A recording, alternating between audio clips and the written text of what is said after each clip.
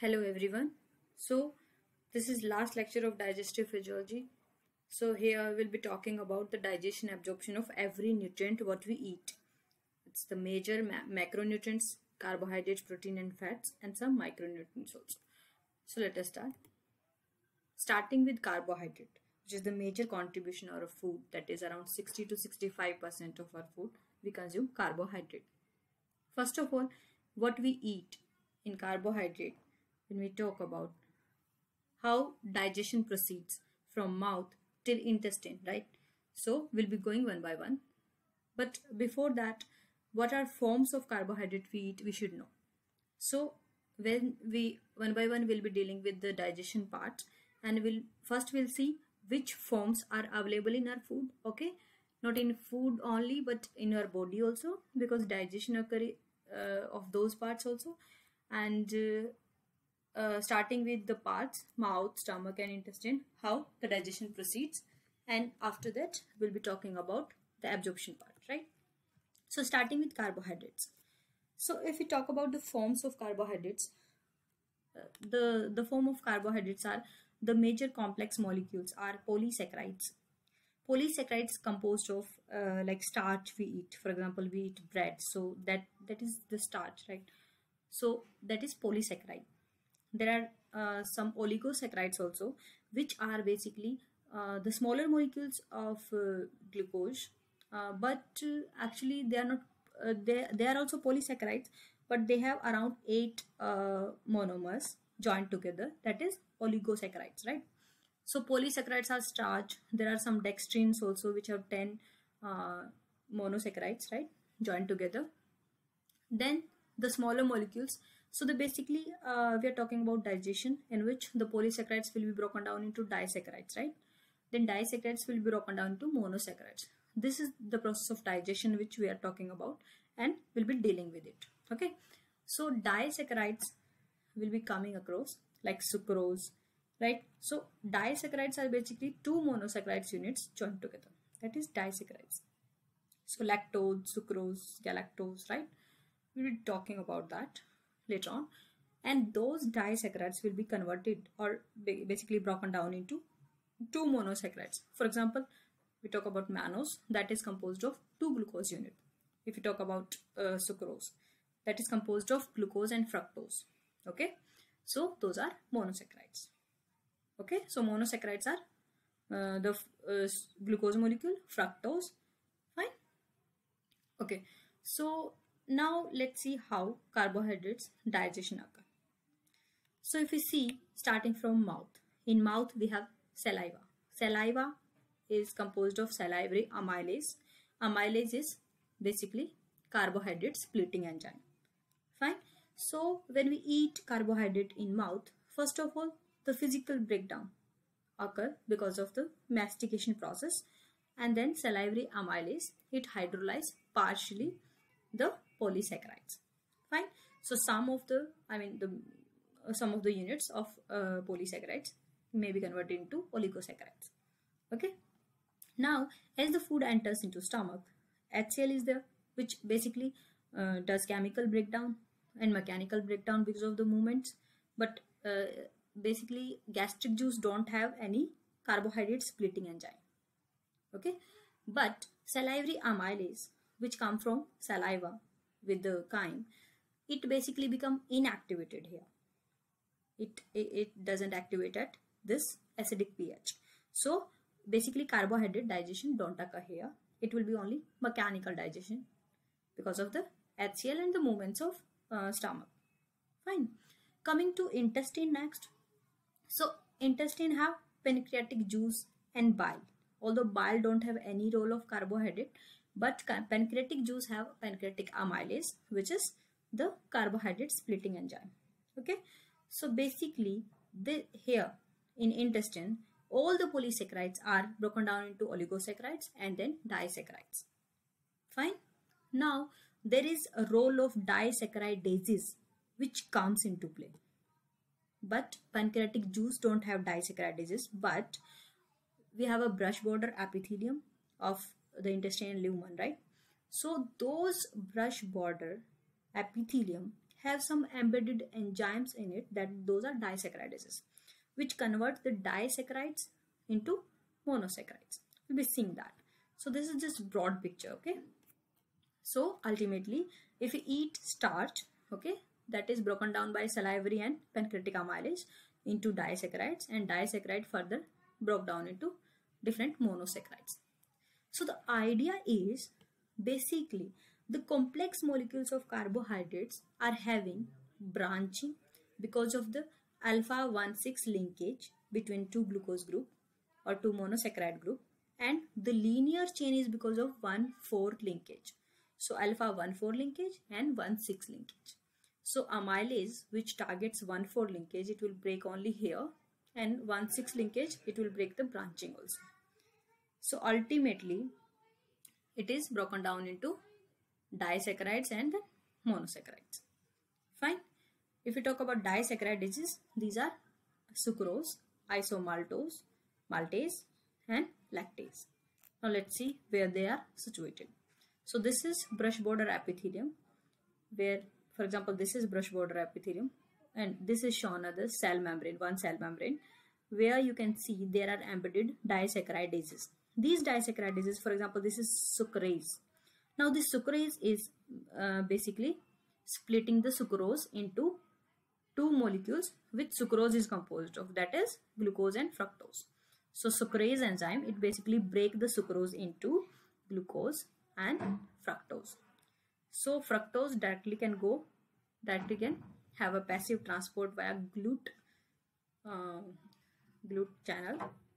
So we'll be talking about here this second molecule which is glucose. Glucose is then transported into the uh, cell and then uh, underlying blood vessels is there via which the glucose is transported to blood and then for energy transport to various body parts.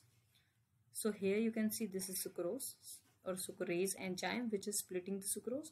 And here this is lactase enzyme which is splitting the lactose into glucose and galactose. Fine.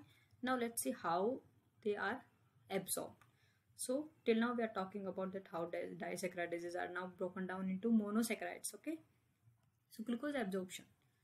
So glucose absorption is basically because of the two channels. One is a facilitated diffusion which is sodium dependent glucose transporter SGLT now this SGLT sodium glucose transporter sodium dependent glucose transporter it help.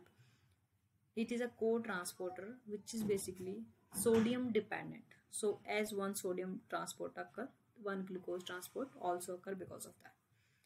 And there are the second transport is second transport is the glucose glut which is glucose transporter. Here it's type 5 which is only for fructose. Otherwise it's glut2 which is for glucose so basically how glucose absorption occurs is one is sodium uh, dependent glucose transporter help in uh, entry of glucose into cell and then from cell via GLUT2 which is passively allowing glucose to bloodstream. So that's how the glucose is being absorbed into the bloodstream. Coming to fat digestion. So fats. What fats we eat? Fats are nothing but the esters of esters of fatty acids and glycerol. If you, if you see structure of fat, here you can see the glycerol having three OH group, okay? And there are three alcohol. There are three fatty acids. These are acids as you can see COH acids. Now these three acids combine with these three OH group and form COOR which is ester. So these are the esters of glycerol and fatty acids. So if you see broadly how it can be digested. So digestion of this uh, triglycerides, this is called triglycerides as there are three esters with glycerol, triglyceride. Now this triglycerides will be broken down into diglycerides plus one fatty acid, right? Then it will be further broken down into monoglycerides and two fatty acids and ultimately three fatty acids will be removed from glycerol. So ultimate product is glycerol plus 3 fatty acids. So that's how fat digestion occur, right? Okay. So we'll, we'll be discussing fat digestion, but let's see the classification of lipids first of all so either they are simple lipids which which are oil or ghee or wax right compound lipids which are phospholipids like lecithin cephalin and glycolipids which are like uh, the fat composition in brain the cerebrosides and gangliosides are derived lipids derived lipids are nothing but during digestion the breakdown products like alcohol fatty acids they are derived lipids. Okay? So if we talk about the fat digestion so in mouth there is salivary lipase which is inactive at more than 6 pH so basically salivary lipase so there is uh, no uh, digestion of fat occur in mouth. In stomach when it come in stomach it will be activated so there is gastric lipase also and salivary lipase also where the digestion of fat occur only lingual lipase is responsible for around 30% of fat digestion. In intestine, bile and pancreatic lipase come into play where bile is most important here, although pancreatic lipase also. So the major uh, digestion occur in intestine. So let's see. Now, if we talk about fat absorption and digestion, so the most important thing is the bile, first of all, which takes part in fat digestion. Now let's see. For for example, this is a fat globule, right? This is a fat droplet, which along with bile salts when it, it, when it comes to duodenum there is bile salts okay so bile salts surrounds the fat and it's split off uh, in many fine droplets okay so these fine droplets uh, basically increase are because they increase the surface area because this droplet is converted into many fine droplets. So there is increase in surface area. Why? So that the lipase enzyme which is coming from pancreas and uh, obviously the gastric and the lingual one. So those lipases they can act on the smaller fine droplets and they can break down the fat easily. And that's why the emulsification is required so converting the fat droplets into finer particle via bile salt is called emulsification. Then lipase act on that. And then basically it convert into free fatty acids monoglycerides and fat and bile salts. Now the role of bile salt is basically the free fatty acid and other lipids which we have digested, uh, which we have eaten like phospholipids. So phospholipids, free fatty acids, they are basically surrounded by these bile salts. Being amphipathic in nature. What does that mean? That hydrophilic uh, area outside and hydrophobic area toward these bile salts. So that they can they can form a micelle structure. As you can see micelle structure. So hydrophilic outer surface and hydrophobic toward the fat. Now these micelles have property that they can passively diffuse into the epithelium. Okay so as these monosaccharide um, uh, monoglycerides enter the epithelium they again they they are very short acting and they again join with each other and form triglyceride okay so glycerol and the fatty acids they again join triglycerides now these triglycerides surrounded by other components like phospholipids and all, so they are called chylomicrons. Now they can diffuse easily to bloodstream. Okay, so the most important thing is the bile which emulsify the fat and the pancreatic lipase act on that and converting into fatty acids. Those basically in form of micelle they transport into epithelium and then forming again triglyceride they they are transported into blood. Now from blood what happens is from blood either via lymphatic circulation they go to liver for lipoprotein synthesis or they can go to adipose tissue for storage purpose or they can go to muscle for oxidation and lipolysis so that energy can be produced. So this is fate of fat. This is all about fat coming to protein. So proteins, proteins we eat is also a polymer. So polypeptides they call right. If we see structure of proteins, so there are four structure of proteins. So starting with the complex molecule which is a quaternary structure, right? Then tertiary structure, secondary structure and primary structure.